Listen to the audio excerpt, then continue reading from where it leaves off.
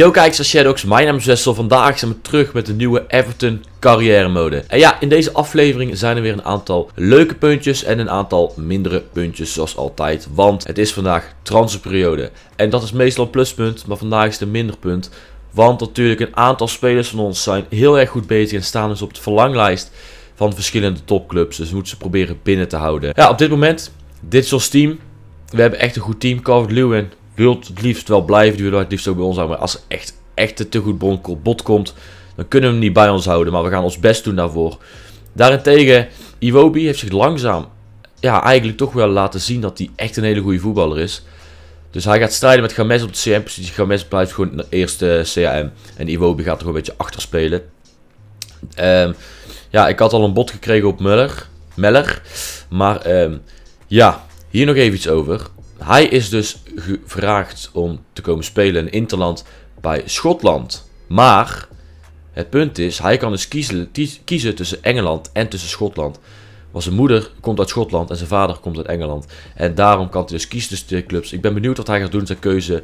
Wij hebben er uh, ook wel wat op te zeggen natuurlijk. Maar uh, ja, die keuze ligt volledig bij hem. Ik ga me daar niet, ja, niet te veel mee bemoeien. Oké, oké. Ik heb met uh, jullie en het bestuur gesproken. En we hebben dus een nieuwe spits aangetrokken in de transfer. Als zodra, zodra de transferperiode begint, komt een nieuwe spits naar ons toe. We hebben hem al gekocht. Hij heeft 6,5 miljoen gekost. En dat is toch best wel een pittig bedrag voor een wisselspits. Tenminste, in de Premier League maakt het niet uit. Dus helemaal niet veel. Maar uh, ja, ik kan het nu nog niet laten zien hier. Maar we hebben dus Jao Pedro gehaald. Ja jongens, het, zat tussen, het was echt wel een strijd tussen twee spelers. Um, hoe doen we dat even zo transfergeschiedenis, ik kan hem zien. Hier, 6, 6 miljoen en dan 500. Ja, ja is een 50.000 bedoel ik. 6, 6 miljoen en 50.000. Dat is een beetje hoeveel we voor hem hebben betaald. Hij is dus zeker wel goed, jongens. Ik weet alleen zijn, ja, zijn uh, algemeen nog niet. Maar volgens mij was hij iets rond 68 of zo. Dus we kunnen vanzelf trainen. Hij heeft dezelfde stap gemaakt als Richarlison dus. Van Watford naar Everton.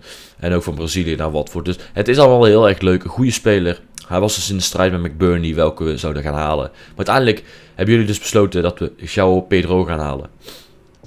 We hebben genoeg geluld. We gaan gelijk beginnen tegen Crystal Palace. Ik ga geen nieuwe rechtsback halen. Ik ga gewoon John Joe Kenny vaker gebruiken. En dus meer sharpness uh, laten krijgen. En dan... Uh, ja, dan zien jullie zo de opstellingen.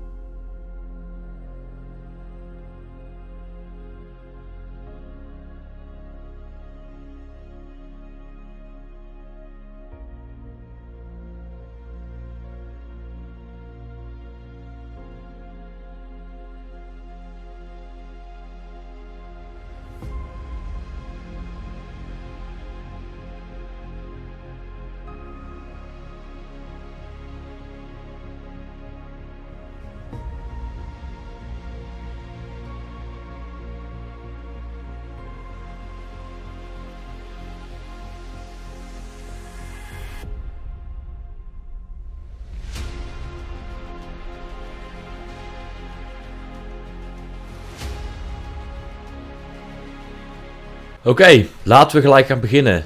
Prima team heeft Crystal Palace, maar ja, wij hebben gewoon een veel beter team. Dus wij zouden in principe op papier gewoon moeten kunnen winnen. Maar uh, we gaan kijken of dat gaat lukken. Oké, is Richarlison. Geef maar mee aan Games. Games aan Calvert-Lewin. Calvert-Lewin terugleggen op Richarlison. Die wordt geblokt. We hebben hem nog. Slinger maar voor. Hier goed naar Gomez gelegd. Alan. Games met links. Games met links. Games met links. Oké, 16 minuten onderweg en staan 0-1 voor. Wie anders dan onze top CHM, James Rodriguez. Ja jongens, wat een begin van een wedstrijd. De wedstrijd is niet zo lang begonnen. En uh, ja, eigenlijk is Crystal Palace deelt het aan de bal, ten aanval. Eén goede counter van ons. En is meteen belangrijk. Af en een goede bal, goed overzicht houden. En uh, het assist op uh, Rodriguez die snel moet reageren. En dat ook doet. En daardoor staan we dus voor. Oké, okay, Calvert-Lewin diepstuur. Kom op, dit is moment. Hij is sneller. Calvert-Lewin. Calvert-Lewin net voor rust scoren ook de 0-2. Ja, eigenlijk is Crystal Palace heeft meer balbezit. Uh, speelt beter rond. Creëert geen kansen, dat niet. Maar wij, uh, telkens als wij de bal hebben, zijn we gevaarlijk. En dat is dus het gevaar van dit Everton. Calvert-Lewin wegsturen met zijn snelheid. Hij mag er überhaupt zo vrij niet gelaten worden, vind ik. Want hij is gewoon de beste spits op in de Premier League. In deze carrière. Ja, samen aan het strijden met Kane om de bal. Om de topscorer van de Premier League te worden. En uh, Calvert-Lewin legt er weer in in. Dit is erg lekker jongens. Belangrijker is drie punten. Je zei ze weer, Petkovic speelt een redelijke wedstrijd. Ik ken heel die gast niet, maar... Hij speelt op zich best prima, is goed balvast en kan goede acties maken. En Pickford heeft gelukkig de bal gepakt. Oh nee, hier is Robert Toon. Ja, 1-2. Robert Toon scoort dus de 1-2. Oké, zo gaat het nog spannend worden de laatste minuten. Want net als ook al een grote kans. En nu scoren ze hem. En Chris Palace komt beter in de wedstrijd, heb ik ook het idee. Het spelen eigenlijk heel de wedstrijd. Ja, niet beter, maar vaker de bal hier weer. Die Petrovic weer. Die is echt moeilijk af te stoppen. Veel moeite mee met die gast. En 1-2. Zo gaat het toch spannend worden de laatste minuutjes. Nou, de laatste minuten eigenlijk nog uh, eh, 30 minuten. Ja, nu zijn mag ver komen. Wordt niet aangepakt. Calvert Lewin meegeeft. Davies. Tom Davies. Bijna met doelpunt. Ja, hij speelt niet vaak. Hij zit niet vaak op de bank. Hij speelt niet vaak mee bedoel ik. Maar als hij de kans krijgt, moet hij zich wel bewijzen. En hier had hij een doelpunt kunnen maken, belangrijk. Maar een goede redding van Hennessy. Ja, we gaan wisselen. Iwobi en Madueke komen erin. De snelle, de snelle spelers. Oké, is Madueke weg. Kom op Madueke, even snellen. Doet hij goed. Hij kan ver komen. Dat was niet de bedoeling. Oh, hij moest terug naar Iwobi. Ai, ai, ai, ai, Maar eh, dat is zonde, want als hij op Iwobi was, was sowieso een doelpunt geweest. Maar ze verspelen de bal makkelijk. We hebben hem nog. Oké, okay, Iwobi. Sprintduel. Alex Iwobi. Oh, ver te ver naar de hoek gedreven. Hij werd te ver naar de hoek gedreven. Dat is goed verdedigd. Want anders ja, komt hij gewoon recht op de goal af. Dat is toch best lastig. Maar toch wel een goede kans. Calvert Lewin hier. Richarlison meegeven aan Digne. Digne voorzet. Davies. Nee, keeper.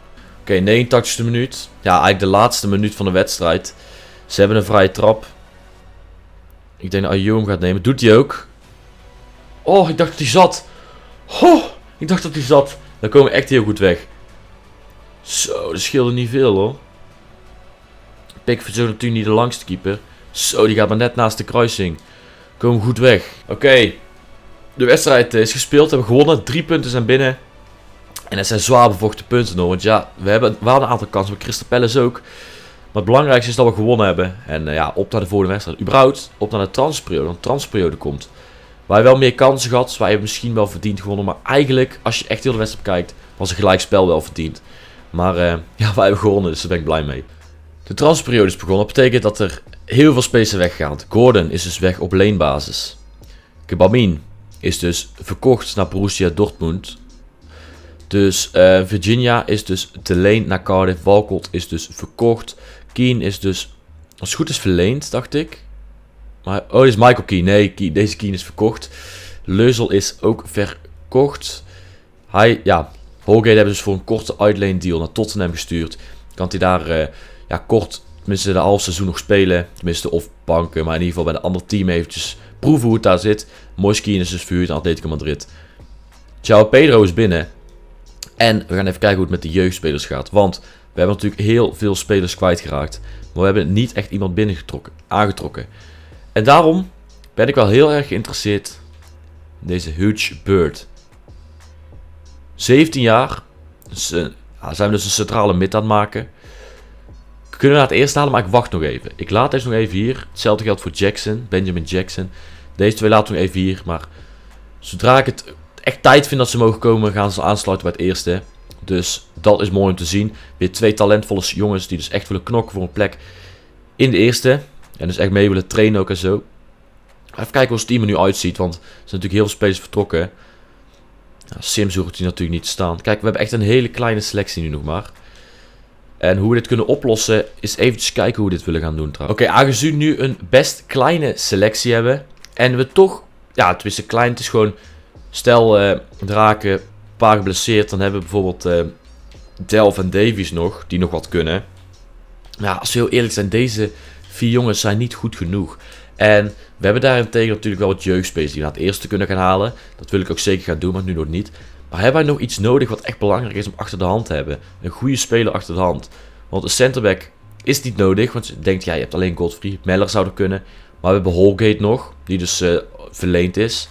Linksback kunnen we Delft zetten, dus ook geen probleem. Middenveld, ja, Ducoré, Meller hebben we daar, we hebben Delft nog, we hebben Tom Davies. En de aanval hebben we Madueke, Pedro, Iwobi zou eventueel nog aanval kunnen. Dus eigenlijk zit met alles wel goed. Dus ik ga niet echt iets halen. Als we echt nood hebben, dan kan ik altijd nog iemand halen. Ten, of jullie moeten een leuke speler achterlaten die ik dus misschien nog kan gaan halen. Voor de toekomst, niet voor de basis, want de basis is goed. Maar misschien voor de future. Laat zeker weten hoe, uh, hoe of wat ik moet gaan doen in deze transferperiode. Want anders is weer het saai transferperiode zonder transfers. En dat willen wij niet hebben. Want ik vind het altijd leuk om één of twee transfers te doen. Ik denk bij deze transferperiode één. Dus jullie kunnen achterlaten wat wij nodig hebben. Welke speler we nodig hebben. Waarom we die nodig hebben. Dus laat echt alsjeblieft dat weten. wat we nodig hebben. Rechts buiten, links buiten. Zeg maar iets. Wie? Doe dan uh, waarom. Nee, wacht. Zeg dan wat. Waarom hebben we hem nodig? Even een tekstje, een verhaaltje bijzetten. En dan je suggesties die je daar hebt voor die positie. Ja, degene die ik... Ik ga dus een paar van die reacties in de volgende aflevering dus in beeld brengen. En uh, dat is de bedoeling. Je gaat dit team, dit is een trainteam. Die heb ik even aangemaakt voor de trainingen. Voor als we natuurlijk de sharpness willen gaan trainen. Want sommige spelers in het eerste, ja, die hoeven dat eigenlijk voor mij niet echt te trainen. Dus ik ga snel simuleren. Ik verwacht gewoon een um, overwinning. En wij hebben gewonnen. 3-2. Spannend, maar um, ja, we hebben gewonnen. Dus dat is belangrijk. En wie anders dan Calvert Lewin met het doelpunt. Echt absurd hoe goed die spits is. Dat is natuurlijk wel als er een speler verkocht gaat worden, moeten we altijd een nieuwe speler halen. En dat is dus een beetje het ding waar we naar het kijken zijn. Dus dat is eventjes hoe we het moeten gaan oplossen. Want stel, Richarlison gaat weg, hebben we natuurlijk wel een vervanger nodig. Ik denk niet dat hij weggaat, maar je weet natuurlijk nooit. Uh, de Core moet vaker spelen. De Coré. Ja, we hebben gewoon echt heel erg druk. En Tom Davies gaat nergens heen. Die blijft bij ons. Tom Davies blijft bij ons. Die mag maar echt niet vertrekken door jongens. Ontwikkeling. Jerry Mina is dus stopper geworden. Dat is prima. Dat is denk ik 80 rating. Dat is netjes. Ja, dit bedoel ik dus jongens. Hierdoor hebben wij dus Mason Holgate eigenlijk achter de hand. Maar die heb ik dus verleend. Maar we hebben ook nog Ben Godfrey en we hebben nog Meller. Dus we hebben helemaal geen probleem centraal achterin. Oké, de, de game crashte net weer, wederom. En dat is natuurlijk iets wat uh, niet fijn is. Maar ja, soms gebeurt het eenmaal. Maar we zijn weer terug in het scherm. En dit zijn dus de trainingen. Deze spelers zijn dus lekker aan het trainen. Uh, ja, dat is prima. West Tottenham komt eraan, maar ik ga die niet spelen. Ik heb daar een, een goede reden voor. Want ik wil nog een aantal dingen met jullie gaan snel gaan bespreken. Even over de transfers, want ik ben niet helemaal tevreden over het team. Kijk, tuurlijk, het team is echt supergoed. Uh, Kenny komt hier dan binnenkort staan. Die kan nog veel gaan groeien. Mina ben ik niet heel tevreden over. Verliest best veel duels eigenlijk als hij speelt. Want ja, hij heeft natuurlijk heel veel niet gespeeld omdat Holgate daar stond. Maar ik ben niet echt heel tevreden over Jerry Mina eigenlijk. Weet je, hij is echt niet slecht, maar ik denk dat wij beter kunnen. En daarom heb ik dus een speler op de verlanglijst gezet om misschien een ruildeal te gaan doen. Ook een Colombiaanse speler. Davidson Sanchez. Ik eh, denk dat ik liever hem wil hebben dan Jerry Mina. Maar, voordat ik überhaupt een beslissing ga maken, is er dus mijn vraag aan jullie. Vandaar dat ik niet verder wil gaan. Het is een vraag aan jullie. Moet ik Jeremina proberen te ruilen of tenminste proberen te verkopen en dan Davidson Sanchez halen? Of moet ik gewoon überhaupt Davidson Sanchez halen op de plek voor uh, Jeremina? Of zeggen jullie van, Wessel, neem deze centerback of neem die centerback of hou het zo hoe het nu is.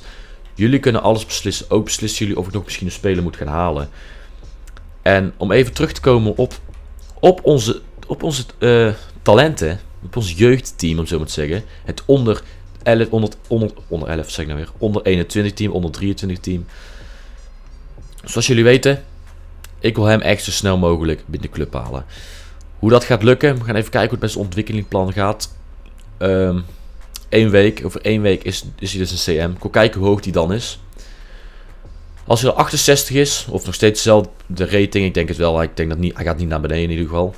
Dan, uh, ik denk dat ik hem dan uiteindelijk, als hij CM is, toch wel binnen ga halen om eh, het team te versterken. En Jackson, Benjamin Jackson, is zeker een leuke vleugelspeler. 5 star skill moves. Snelheid en zo heeft hij wel redelijk. Is pas 16. Maar ik weet niet. Het is een buitenspeler. Ik heb liever een rechtsback of zo inderdaad. Die dan af en toe mee kan spelen. Dan een, een buitenspeler die eigenlijk bijna normaal de kansen niet krijgt. Dan we gewoon genoeg buitenspelers hebben. Tenminste, we hebben Iwobi die buitenspeler kan. We hebben Madueke. We hebben die Ciao Pedro die buitenspeler kan. Dus ik wacht nog even met de jeugd. Jullie kunnen ook beslissen. Moet ik sommige spelers van het jeugdteam naar het eerst halen? Moet ik dus een nieuwe centerback gaan halen? Moet ik misschien nog iets anders gaan halen op een bepaalde positie? Ehm, ik ga de video zo snel mogelijk editen. Uh, of tenminste, snel mogelijk wel natuurlijk goed. Ik ga hem goed editen, snel editen. Dat hij vandaag nog online kan komen. Dan kan ik vandaag nog de volgende aflevering opnemen van jullie suggesties. Dus dat is wat ik ga doen. Ik hoop dat deze video leuk vonden. Eén wedstrijd gedaan. En het is transperiode en we hebben wat besproken over onze jeugd.